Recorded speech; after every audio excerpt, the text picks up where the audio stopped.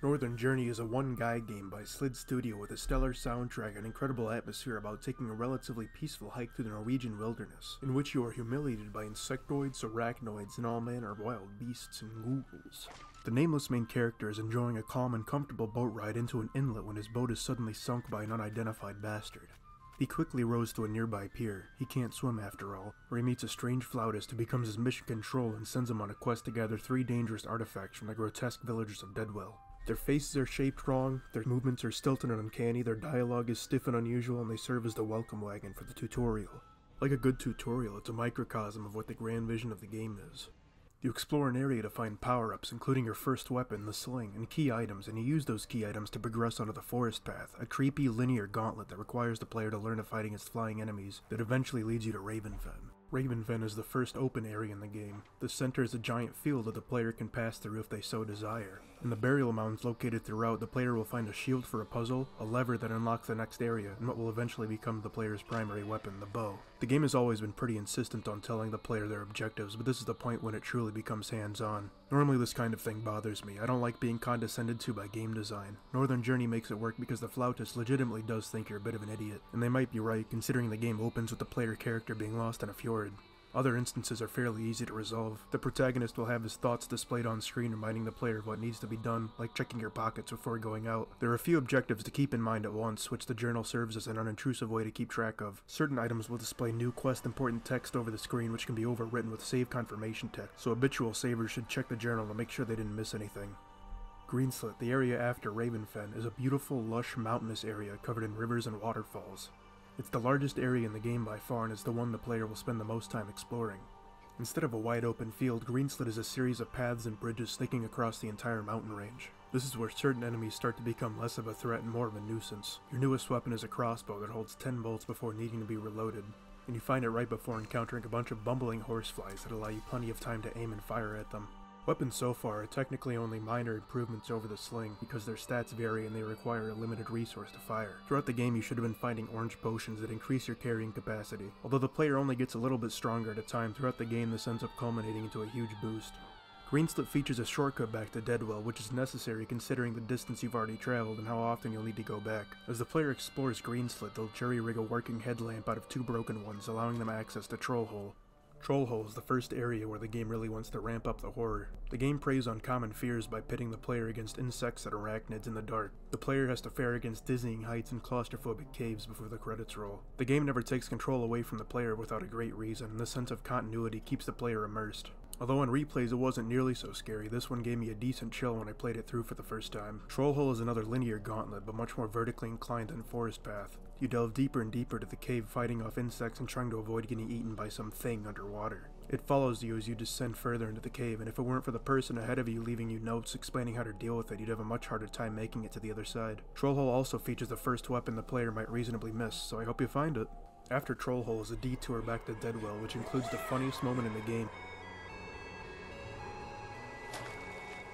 in a pair of boss fights. The White Witch under Deadwell is a major difficulty spike, though the footage might not show it. My first playthrough, I got humiliated by her more times than I can remember. She dashes around the arena dealing contact damage, and she can release a worm? that chases after you at high speeds. After dealing with the witch and acquiring the key she guards, you make your way below Deadwell and get the last key item necessary to open up the path to Nook Pond. On your way back to Greenslit, you're attacked by a villager who is secretly a witch. A lot of the bosses in this game are bigger tests of patience than skill, but they can still be a lot of fun. The Witch specifically is a fast-flying target who also has powerful ranged attacks, making it a fairly even fight between the two of you. Other boss fights are mostly groups of enemies that try to swarm you that you have to kite around the arena. Though mechanically simple and a bit frustrating, boss fights still trend towards thrilling and fun. As its name implies, Nook Pond features a large body of water in the center. Inside the pond is another giant beast you can't kill, one whose siren song pulls you into the depths of the water. Northern Journey wants you to fear the water. The protagonist can't swim so every body of water is deadly.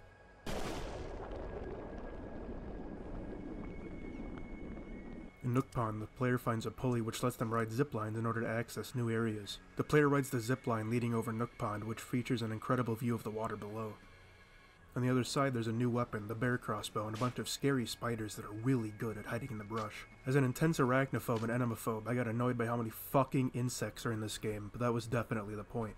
Later on in the game, the flautist will fake you out by telling you you won't see any more living, air breathing spiders in this world, and then forces you to contend with undead, underwater, and otherworldly spiders. As annoying as it is, it's a player side problem, and honestly, it's pretty effective exposure therapy. With the bear crossbow and new objective to fix the witch's statue in tow, the player goes back to Deadwell to ask a villager to fix a bathysphere to enter the water under Nook Pond. The inventor, who absolutely hates your guts, is only too eager to comply with your request to trap yourself in a ball and sink to the bottom of a lake.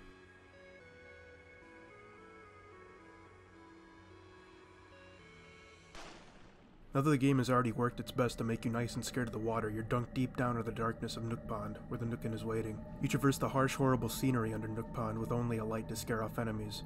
All of your weapons are useless to you underwater. It's a sincerely bone-chilling experience. You're trapped in a metal cage as you're being hunted down by a creature you can't kill or outrun, only swat away for a few moments. As you progress deeper and deeper under the water, you're attacked by some poor souls whose fates are uncertain but understood.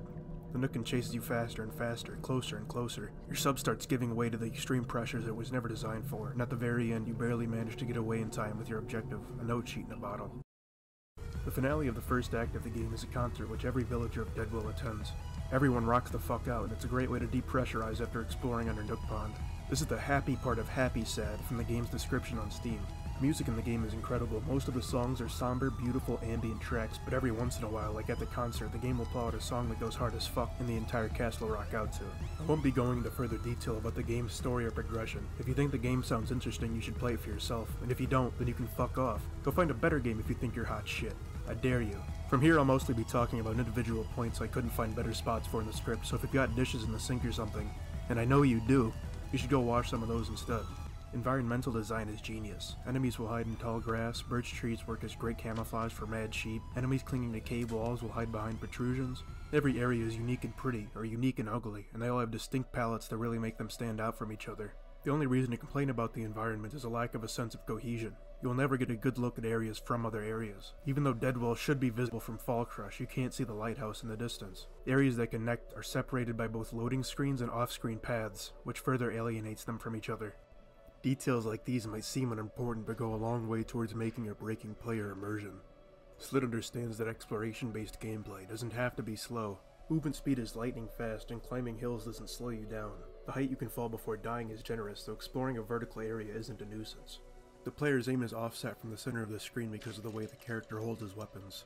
You'll have to fight against gravity to make your shots, and everyone needs to be deliberate because most weapons come with an animation for raising or lowering them in between shots, and the majority only keep one round loaded at a time. Quick movement and slow shooting make for some incredibly tense combat. It's a surprisingly intuitive and fun system, and despite its simplicity, it's obvious Slid put a lot of thought into how it all worked. Northern Journey is a genuine treat of an indie game. A lot of little touches work together to make a thrilling adventure. Slid understood exactly what they wanted out of Northern Journey and obviously worked tirelessly to make it reality. It's hard to find games with half a good sense of place. Northern Journey is a truly immersive, special experience that you won't find in other games.